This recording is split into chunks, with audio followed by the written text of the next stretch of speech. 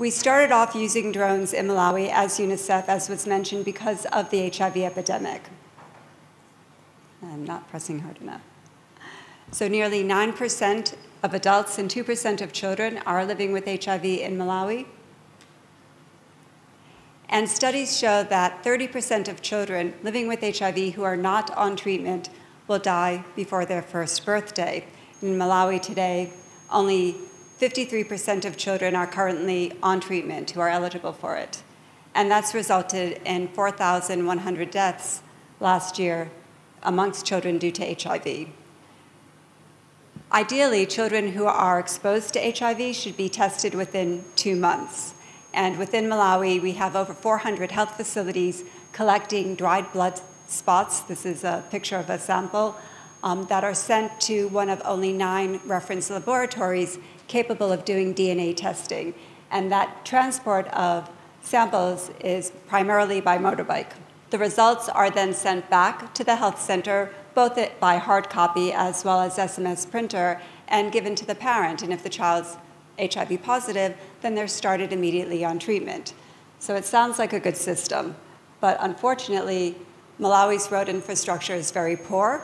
It's also costly to manage that transportation system. Just the collection of samples is about $2 million a year.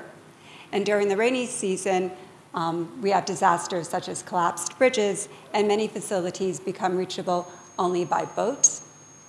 And by boat, I mean this type of boat, um, or by foot.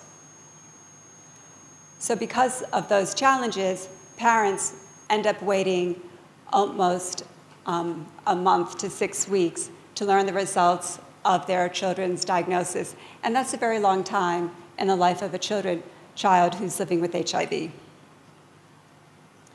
As was mentioned, in 2016, we then worked with partners, um, Matternet and Village Reach, to conduct a feasibility study on the use of drones to transport laboratory samples.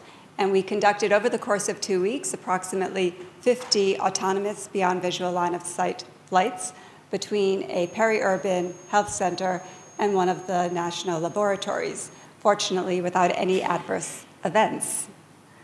So we're now moved into phase two, working in two districts to pilot an optimized diagnostic supply chain, which integrates the existing system of motorbikes, drones, point of care diagnostics, another very cool technology for early infant diagnosis of HIV, viral load for HIV and TB in order to improve access to care and treatment.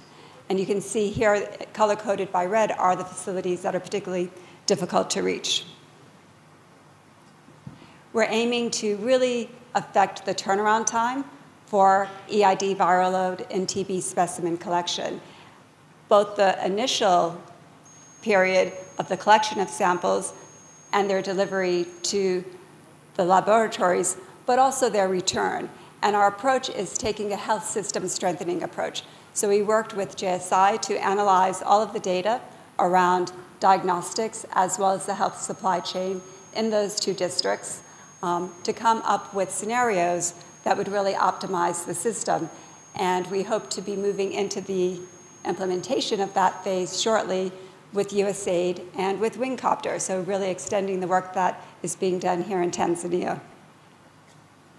We've had the pleasure of working with an incredibly committed government, um, so thank you to my civil aviation colleagues who are here today and who you'll be hearing more from later in the meeting, um, as well as a number of other ministries. So it was a very careful process to get government endorsement that was very widespread. And we've been working closely with civil aviation to develop the regulatory framework for Malawi, which again you'll hear more of um, tomorrow, and to establish a cadre of drone experts for Malawi. So we supported a team from the Ministry of Health, Civil Aviation, and the Ministry of Defense to attend a two-week training in the US that was particularly tailored toward their needs so that they are the experts within Malawi. Let's go back. So moving on. Um, I wanted to also take a moment to talk about emergency response, another area that we're working in. In 2015, Malawi was affected by unprecedented flooding. Over 100,000 people were displaced, and the images that were provided were things such as these from um, light aircraft. The government did not have enough information to really respond as rapidly as they would have liked. So in 2017, they asked UNICEF to respond with drones.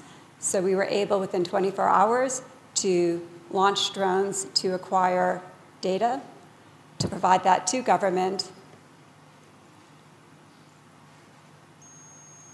and to, sorry, I'm not pressing hard enough, and to community members so that they could assess the level of damage that had been um, affected within their areas. As part of that, we're also working with government on flood preparedness. So again, flying drones to acquire data and to create models that will help communities better plan for flooding. And we've been working with government on integrating drones into the National Contingency Response Plan and worked with We Robotics to conduct a simulation exercise that involved government officials, drone pilots, data analysts, and search and rescue teams. And based on that, drones are now an official part of that national response plan. And all the work that we've done, we've worked with communities, whether it's through demonstration days at um, schools or marketplaces. You know, it's ensuring that community members are involved. And most importantly, working with community members to identify their own challenges and ways in which drones can actually address the problems that they experience on a daily basis and improve their lives and the lives of children in the community. So thank you. That's it for me.